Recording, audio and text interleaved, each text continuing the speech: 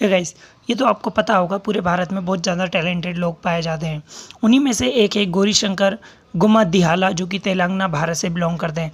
उन्होंने एक छोटी सी चम्मच, यानी कि एक वुडन यानी कि एक लकड़ी की चम्मच बनाई हुई है, जो कि point four point five M की है, यानी कि zero point one eight inch की लॉन्ग है, और वो कर्व्ड है, जिन्हें इसके लिए उन्हें Guinness book of world record में भी इनका नाम दर्ज हो चुका है। ये आप देख सकते हैं कैसी चम्मच है।